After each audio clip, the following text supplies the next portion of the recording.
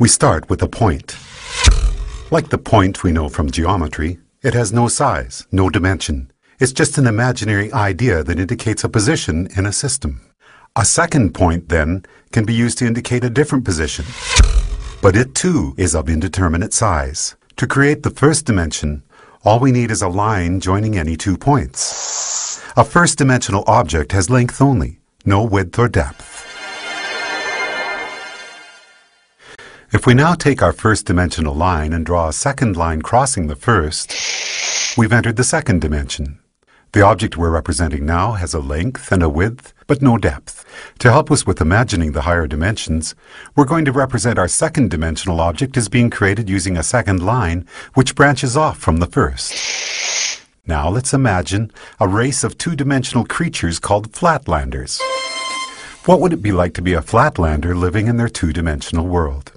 A two-dimensional creature would have only length and width, as if they were the royalty on an impossibly flat playing card. Picture this. A flatlander couldn't possibly have a digestive tract because the pipe from their mouth to their bottom would divide them into two pieces. And a flatlander trying to view our three-dimensional world would only be able to perceive shapes in two-dimensional cross-sections. A balloon, for instance, would start as a tiny dot, become a hollow circle which inexplicably grows to a certain size, then shrinks back to a dot before popping out of existence. And we three-dimensional human beings would seem very strange indeed to a flatlander. Imagining the third dimension is the easiest for us because every moment of our lives, that's what we're in. A three-dimensional object has length, width, and height. But here's another way to describe the third dimension. If we imagine an ant walking across a newspaper which is lying on a table, we can pretend that the ant is a flatlander, walking along on a flat two-dimensional newspaper world.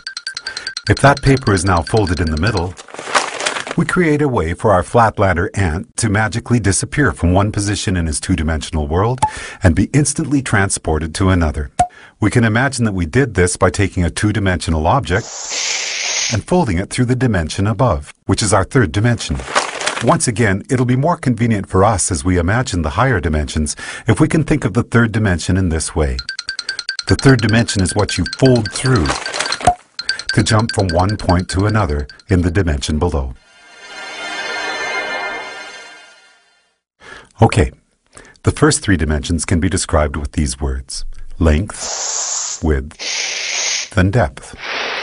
What word can we assign to the fourth dimension? One answer would be duration. If we think of ourselves as we were one minute ago, and then imagine ourselves as we are at this moment, the line we could draw from the one minute ago version to the right now version would be a line in the fourth dimension. If you were to see your body in the fourth dimension, You'd be like a long undulating snake, with your embryonic self at one end and your deceased self at the other. But because we live from moment to moment in the third dimension, we're like our second dimensional flatlanders. Just like that flatlander who could only see two-dimensional cross-sections of objects from the dimension above, we, as three-dimensional creatures, can only see three-dimensional cross-sections of our fourth-dimensional self.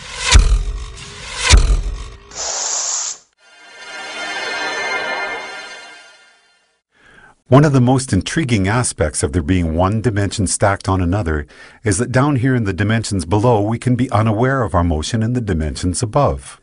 Here's a simple example.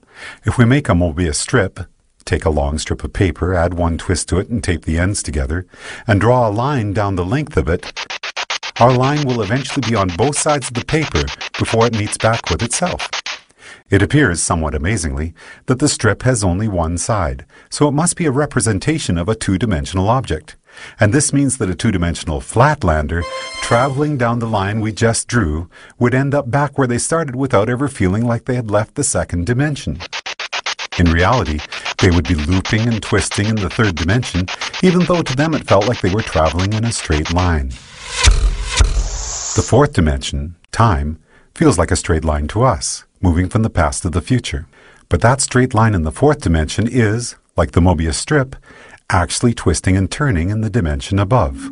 So the long undulating snake that is us will feel like it is moving in a straight line in the fourth dimension, but there will actually be in the fifth dimension a multitude of paths that we could branch to at any given moment.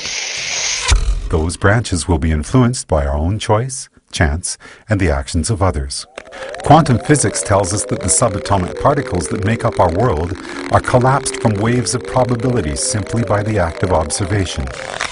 In the picture we are drawing for ourselves here, we can now start to see how each of us are collapsing the indeterminate wave of probable futures contained in the fifth dimension into the fourth dimensional line that we are experiencing as time.